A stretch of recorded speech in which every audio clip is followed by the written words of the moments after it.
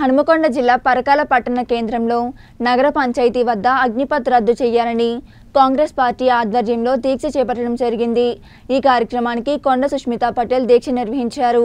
భారతదేశంలో పాలిస్తున్న బీజేపీ ప్రభుత్వం మొండి వైఖరి తగ్గించుకుని అగ్నిపత్ పథకాన్ని రద్దు చేయాలని అన్నారు.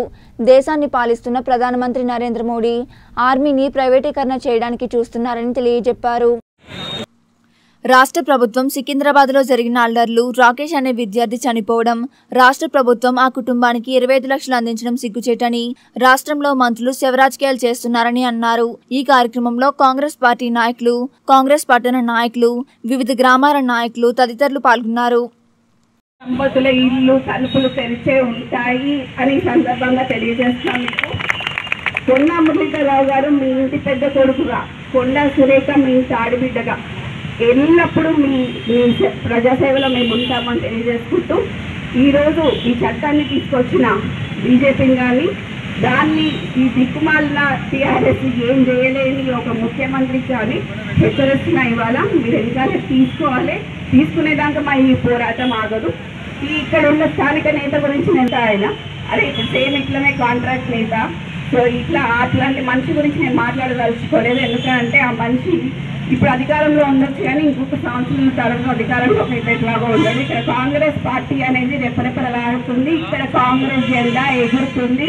ఖచ్చితంగా మీరందరూ కాంగ్రెస్ పార్టీకి ఎవరు టికెట్ వచ్చిన పక్కన పెట్టింది కాంగ్రెస్ పార్టీకి మీరందరూ మద్దతు ఇవ్వాలని చెప్పి నేను మనస్ఫూర్తిగా కోరుకుంటూ ప్రతి ఒక్క కార్యకర్త ఇయాటి నుంచి ఒక సైనికులుగా పనిచేస్తూ ఆ సైనికులు ఎంబడి ఉంటూ ఇవాళ ఇది ఇది రద్దయ్యే వరకు మనం మన ప్రయత్నం చేద్దామని మనస్ఫూర్తిగా కోరుకుంటూ ఇక్కడికి వచ్చిన మిత్రులకు చిరికి కూడా ఒక ధన్యవాదాలు తెలియజేస్తున్నాం వాళ్ళు చంపేసినావు.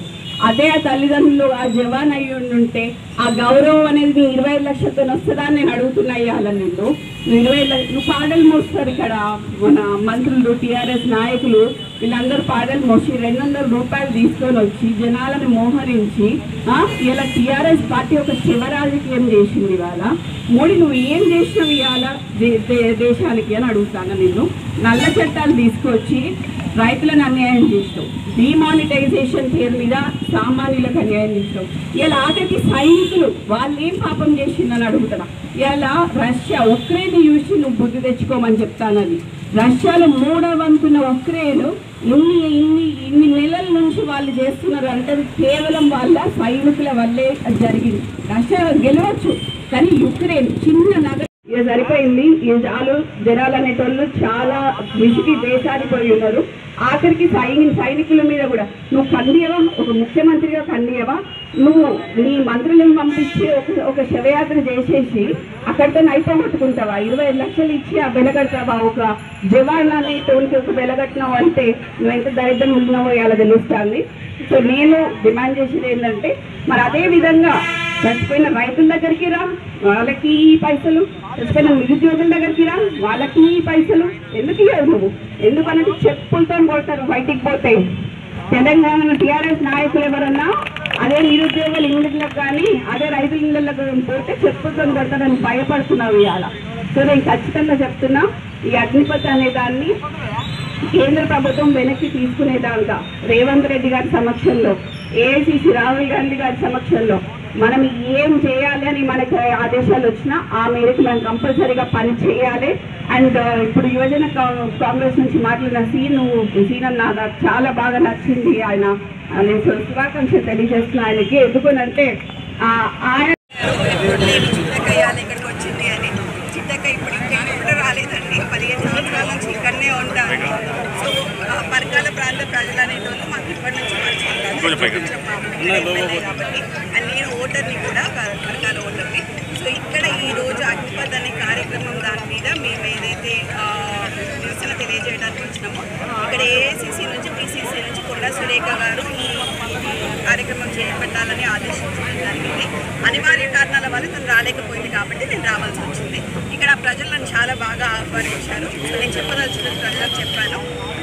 ఇక నాకు ఫ్లెక్సీపై గొడవ కూడా సమాచారం లేదమ్మా గొడవలు ఏం లేవు ఏమీ లేవు. ఇక్కడ అంత అంతే కానీ ఏం లేదు. అంత బాగానే ఉంది ఎందుకంటే ఇప్పుడు మీరు చూస్తారు కదా సజావుగా జరిగింది అంతా సజావుగా జరిగింది. కొండ దంపతులు నాయకత్వం మీద ప్రజలందరికీ విశ్వాసం ఉంది పరకాల ప్రజలందరికీ. సో కంపల్సరీ ఇక్కడ ఏమి అట్లాంటిది ఏం జరగదు. రానున్న రోజుల్లో కాంగ్రెస్ పార్టీ ఒకటే ప్రత్యామ్నాయంగా ప్రజలకు కనిపిస్తుంది. ఎందుకంటే బీజేపీ చూసినా టీఆర్ఎస్ చూసినా చాలా అక్రమాలకి అన్యాయాలకి పాల్పడుతున్నది. డెఫినెట్లీ కాంగ్రెస్ పార్టీ ఒకటే ప్రత్యామ్నాయం ఈ దేశానికి కానీ రాష్ట్రానికి కానీ ఈరోజు సో ఖచ్చితంగా కాంగ్రెస్ పార్టీ కేంద్రంలో కానీ రాష్ట్రంలో కానీ మన గవర్నమెంట్ ఫామ్ చేస్తుందన్న గట్టి నమ్మకం నాకు. పార్టీ నేను రాజకీయాలు మాట్లాడడానికి రాలే అన్న ఇవాళ. ఇవాళ ఓన్లీ కేవలం నిరసన కార్యక్రమం ఎందుకు అని అంటే ఒక సైనికులకు అన్యాయం జరిగింది అని ఒక నిరసన కార్యక్రమం మీద వచ్చినా కానీ రాజకీయాలు మాట్లాడడానికి రాలేదు. దయచేసి దీన్ని రాజకీయ పరంగా చూడొద్దని చెప్పి నేను మనస్ఫూర్తిగా విజ్ఞప్తి చేస్తాను మీ ప్రెస్ వాళ్ళ తరఫున విజ్ఞప్తి చేస్తాను